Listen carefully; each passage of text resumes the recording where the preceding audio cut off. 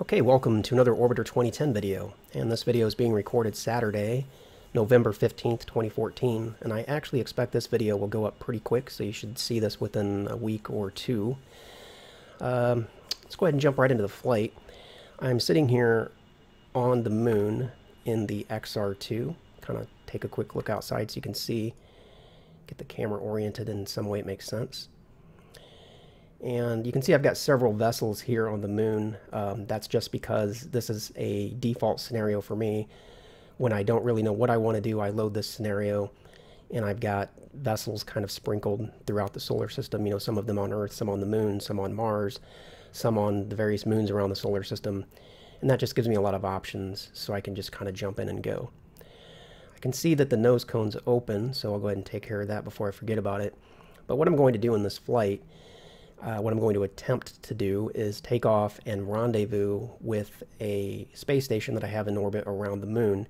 It's not really in the best orbit, so uh, at least not in the best orbit in terms of taking off from Brighton Beach. So we'll probably have a large plane change in there somewhere. And furthermore, I'm also not going to really concern myself with doing things perfectly uh, or even, you know, perfect by my own standards, which are very low. Um, and that's just because I've been away for a very long time and just getting really familiar with how things work is going to be enough of a challenge. So let's go back inside and again I'm going to close that nose cone before I forget about it. So let me come down to the bottom panel, turn on the APU, and what is the nose cone? Control K. Yes, it's Control K, so I remembered that. And you can see that's closing. And uh, let me go ahead and time warp to get through that animation. There it's closed. Let's turn the APU back off. And I'll show you the target. I went ahead, uh, before I show you the target, I went ahead and made sure that all my resources were aplenty. So fuel shouldn't be an issue. We have 10 days to get there. So let's go ahead and take a look at our target. Let me press F3. And we're going to choose the ESS on this list. There it is. And there's the ESS, and I have it in orbit around the moon, kind of high up, if I can find the moon. Where, oh, where did the lunar body go? There it is. So there's the moon, and you can tell, you know, it's, it's up here a ways, so, uh, you know, we're not in tight around the moon. For some reason, it almost looks like it's falling to me. That's weird. Um, so this is where we're, this is where my target's going to be I hit the wrong button there. That's now now I'm inside the ESS, and that's not what I want. Let me Control F3 back to the XR2. I've already chosen the ESS, so you can see that here. Let me switch over to make these larger. So you can see that here in this MFD, and you can see it, it kind of looks like it has an oblong orbit, but it doesn't. Its orbit's zero eccentricity. The reason for this shape is just because uh, from our from our position on the moon, it's kind of a tilted orbit. So again, we're probably going to have a plane change in there somewhere. And if you look over here at uh, maps, uh, map MFD, we can see that the ESS is more or less on an equatorial orbit. And if we take off from Brighton Beach and fly at a 90 degree heading, our orbit is going to be very much not equatorial. So yeah, we're going to have a plane change in there. All right, let me now uh, consider what it is I have to do. Let me bring up line plane MFD. Let's target the ESS. And I'm guessing what we'll probably want to do here, and again, I'm not going to stress over, you know, getting things real perfect because it's just been, it's been too long. My, my brain in terms of what to do in orbiter is kind of muddy very at the, at the, at most. So I think probably though what we want to do, I'm going to guess, is we want to make sure we take off when the ESS is crossing our orbital plane, assuming again that we take off and fly to 90 degree heading. So let's do that, and while I'm kind of fast forwarding time, I'll look at, let me make sure I turned off the APU. Okay, I did. And so while I'm fast forwarding time, I'll kind of look at the relative inclination and the rate and see what's happening there. It looks like the rate's currently still going down.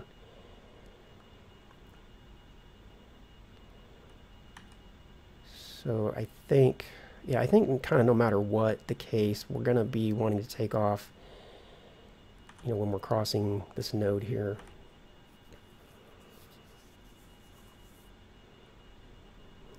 Yeah, I'm pretty sure that's going to be it. So let's zoom in on that location over there to get an idea when the ESS is approaching.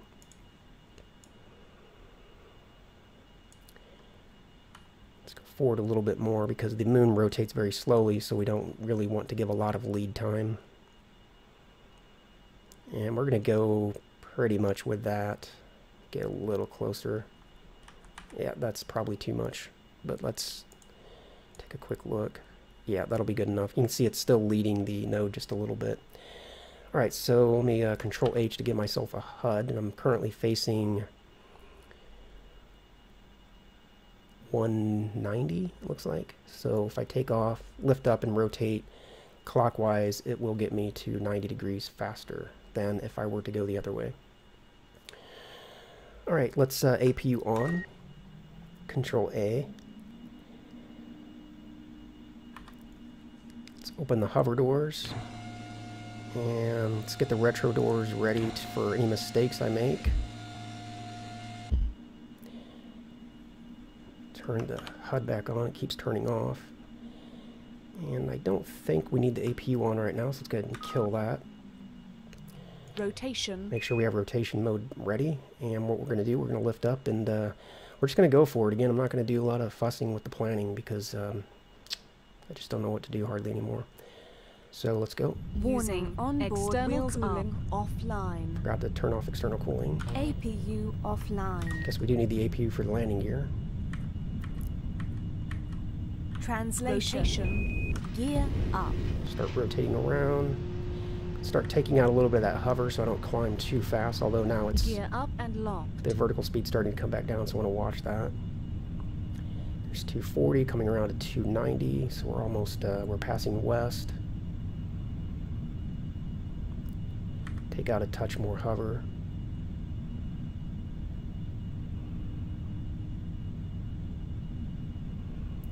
I'm coming around to 10 degrees, 20.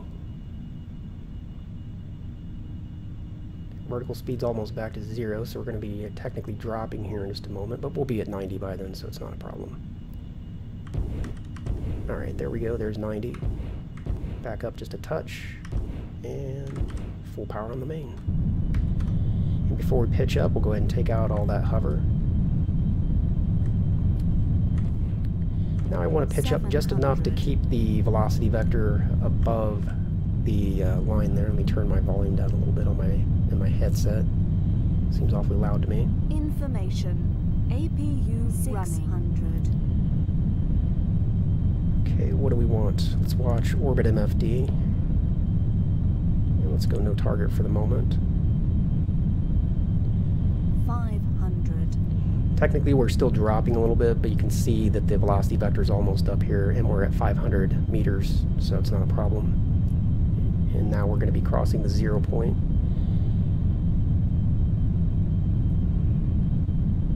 And now I'm actually going to start pitching down a little bit, because I really don't want to climb, or else I'll just have this really oblong orbit.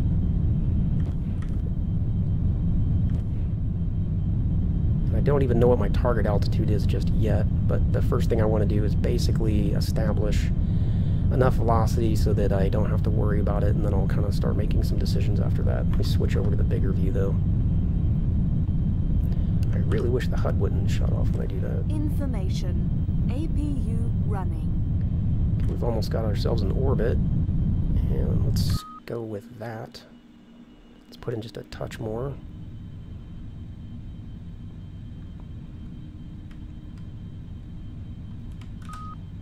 Turn off the APU. I heard the uh, call out a moment ago. So, okay, there's uh, 40 some meters, uh, kilometers rather, we'll go with that for now. All right, now let me figure out exactly where the ESS is at, sort of uh, height-wise and so forth. So, so we need to climb a ways. Now I'm going to guess that it's going to be better to do our plane change after we've established our our high point because again the closer you are into the body the more expensive the plane change. So we'll take care of the plane change later. So let me go ahead and bring up one side of my orbit to uh, 1900 go ahead and do that now. Translation. Just get back to the center point here. Full power on the main raise the orbit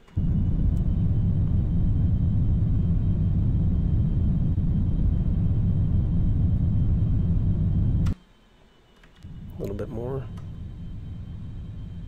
And we're going, oh, actually quite a bit more. So we're going all the way to 1.9. But I don't really want to overshoot it. So, mm, something like that, maybe a little bit more. Somewhere in that neighborhood. Okay, we'll go with that. Now, we will plan on doing a plane change correction here. Hopefully, you know, now, now that I'm looking at this, I actually, one thing I didn't take into account, I should have set the high point of the orbit at a node. I just didn't even think about it.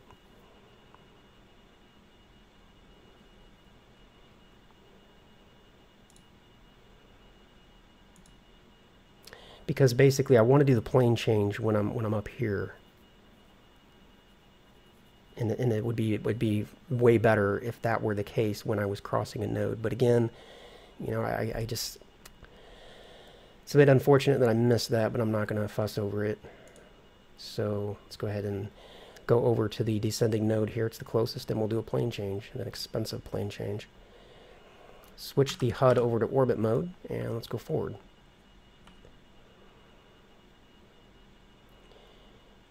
And we know that when we get there, we're going to require a, let's see, it's going to be the, de the descending node, so we're going to require a 51 second burn total. So we want to start the burn at about 25 seconds roughly before we get there. So let's uh, plan on that. So at about 200 seconds, we'll come out of time warp and get the vessel oriented in the orbit plus position. I actually had to think about that. ascending equals anti-normal. Let's go forward a little bit more. I was uh, actually making a joke.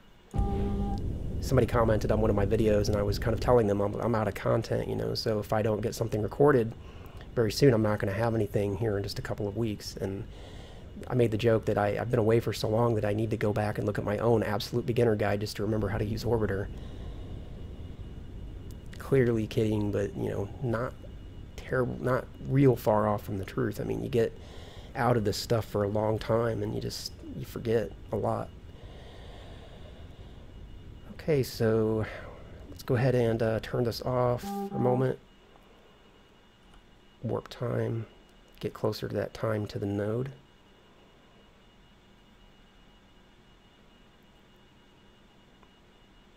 I can see I'm drifting off, but I'll correct that when I get closer.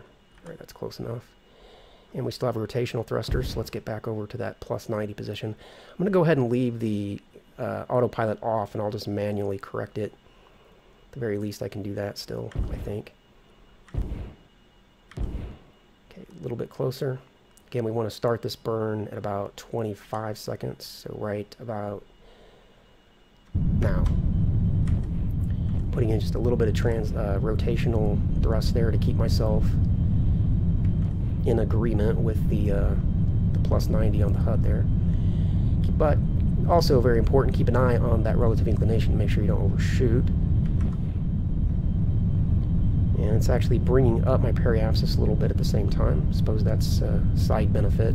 Now this this this unfortunately isn't as efficient as it should be because I just completely failed to take into account when I would reach the node so you can see I'm not at Apple apoapsis, I'm not even close to it.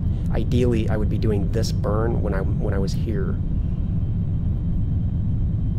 About four degrees out of plane, two, one, and shut things down. Translation. Finished up. Eh, we still have enough. Actually, though. Rotation. Get rotated back to the correct position here and then put in just a little bit more main engine.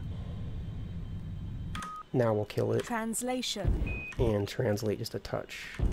And I think that's as good as it's going to get. So we're 0.01 degrees out of plane, but that's fine. We're there. All right, now let's see what that looks like in orbit MFD. So now you can see we're uh, much more in agreement with with how things should look. So let's go to the prograde position. one of the next orders of business is going to be to at least think about our orbit circularization. But I'm not going to worry about, obviously, I'm not going to circularize completely because I do need to catch up to the ESS or have it catch up with me. So if I circularize right now, I'm on the other side of the moon and it would take forever for our two vessels to come into close proximity. We don't want that. I don't want that. And you don't want that either because then this would be a much longer video.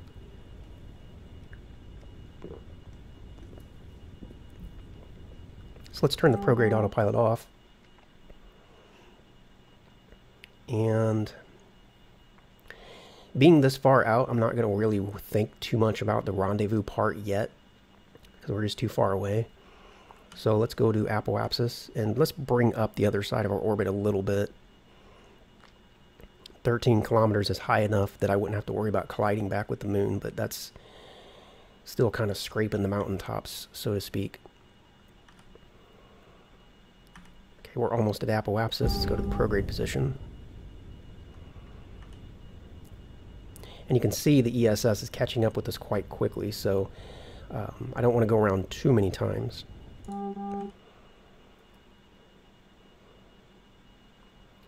Coming up to apoapsis. And let's raise that orbit just a touch. Uh, uh, quite a bit, but... That's just a rough estimate. Now I know that I'm very, very far up enough above the surface that I don't have to worry about hitting the surface. The other thing I would like to take into account, if I can, I don't want to go around any more than I have to. You know what else I need to do? How many of you guys remembered that I didn't have the radiator open? Never mind, I do. It's already open. How many of you guys realized that I still had the landing gear down? No, I don't. Hover doors are open. Wow, I'm such a noob. Okay, let's take care of that.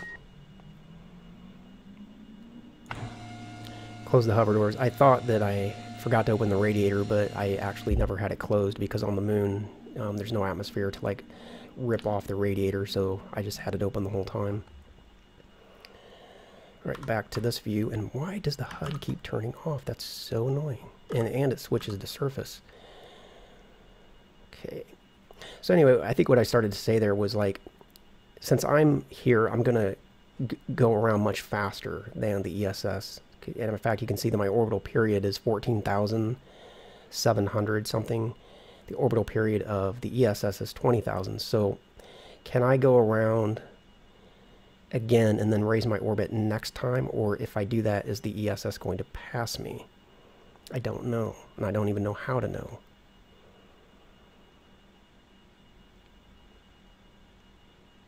A difference of 6,000 seconds. That's a lot.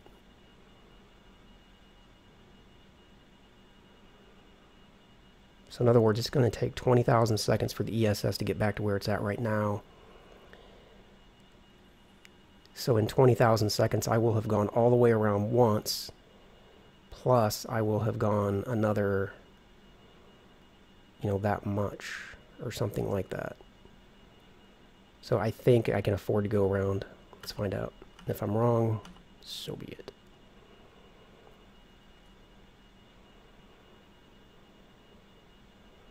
See how quickly I catch up once I get down to my low point. I think I can even go around again. Now watch how quickly I close the distance.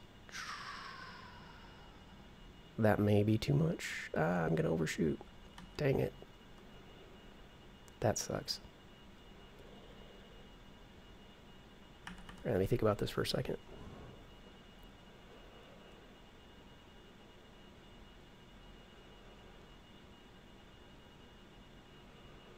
if I overshoot, then that means I need to slow down, which means I have to raise the other side of my orbit higher than the ESS so that it has time to catch up to me. There's no chance that we're actually going to rendezvous up here. No, that's not going to happen. No such luck. No, I'm going to pass it. Boy, that's awfully close. Talk about dumb luck if that were the case. Let's see. Target. ESS. Yeah, we're only 300 kilometers away from it.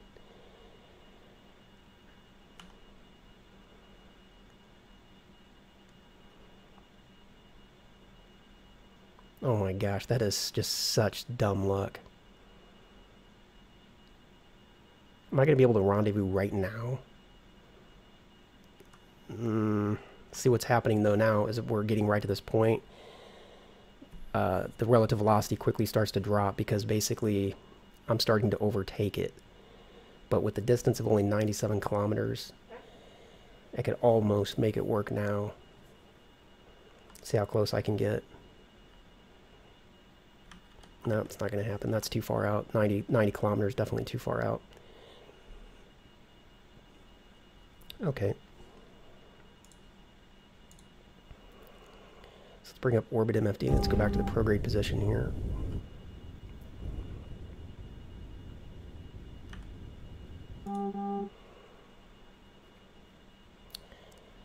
So what I'm going to do when I reach apoapsis, then I'm going to have to raise the other side of my orbit, and I'm going to actually have to raise it higher than the ESS, because basically I'm going to end up overtaking the ESS, I think. At any event, I need to get to the apoapsis. Let's see what happens. Okay, well, I'm still behind it a little bit. That's actually good news.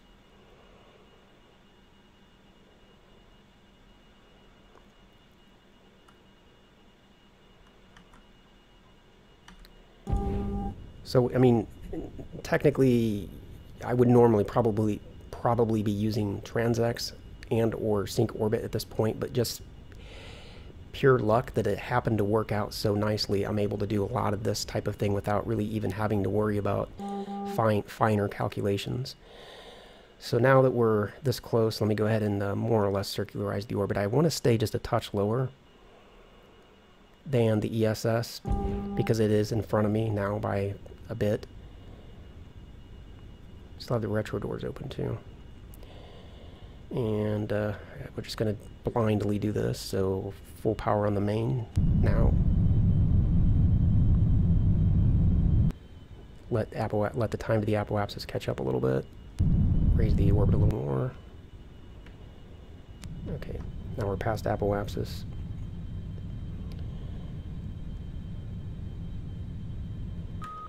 Okay, now I'm kind of just vaguely looking at the difference in time. Got that's a bit much, probably. I could also look at our difference in relative velocity now. But I want to stay just a little bit lower than the ESS because I do want to catch up to it. Okay, let's go with that for now, and that's just a rough guess. Now I can start using tools that actually help me make, you know, better decisions. So let me uh, start with sync orbit, target the ESS, and we want to intersect, uh, I don't know, let's call it my apoapsis. So I'm going to say modify, this is the reference point for the intersection, ships periapsis and ships apoapsis. And that's, again, just kind of a... Uh, kind of a guess. Now, see the DT min's only got a difference of 51, which isn't which isn't too much. It can be easily easily be corrected with just a little bit of translation. Difference in relative velocity is 83 meters per second, which is probably a little on the high side if depending on how you want to approach. For me, that's certainly fine. I have no problems going in sort of Leroy Jenkins style you know, I'll, come in at a thousand meters a second. I don't, I don't sweat it. But if you're a little bit more careful, cautious, and realistic, you want to see this number as low as possible as well. Okay, now relative inclination has slipped off just a, a little bit. Actually, no, it hasn't. That's what it always was, 0.01. But maybe as I go around and pass the nodes, I'll try to remember to take care of that as well. Rotation translation. So at the moment, let me just Okay, so if I translate back a little bit, that's going to bring the DT min down, or rather up. So if I go forward this way a little bit, I can bring the DT min. And the DT min is the difference in time for when you pass a intersection and the ESS does as well. But it doesn't do any good to have that exactly zero if your altitudes don't also match very closely. Because in other words, you're passing the same point in a 2D plane, because again, these a lot of these MFDs are only 2D, but it doesn't take into account altitude, so you may be vastly far off in altitude. So that's one of the other things we'll have to correct. So if I'm saying at my apoapsis, ship's apoapsis, which is here, I think. Yeah, that's that's my apoapsis. See, I would be about 20 kilometers higher than the ESS. That's that's a bit much. You know, you, that's probably too much to be able to work with. So we're going to have to bring down the apoapsis a bit, and I'll take care of that at the periapsis, and I will take care of that in the next video because I'm coming up not too terribly far away from 30 minutes, and I'm kind of thinking these days I might even try to bring it down more closer to 25. So hopefully you liked uh, this video, liked seeing me resurrected from the dead. Never really did get a chance to talk about where I've been and what I've been doing, but I think everybody pretty well knows. Basically just very, very busy with school and stuff. I started back to college in May, and um, it wasn't too bad over the summer, but now that I'm into the fall, I'm taking five classes right now, and it's keeping me very, very busy.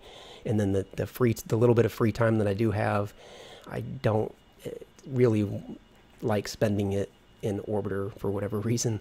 I, I mean, I do, but I don't. It's, you know, I, I like do other things as well. Talk a little bit more about that in the next video. If you like this video, like it. If you didn't like it, hit the thumbs down button. I don't have a problem with that. Just tell me. Uh, I would if you do if you didn't like it for some reason though, leave a comment. Let me know what was wrong with it. Otherwise, I will see you in the next part.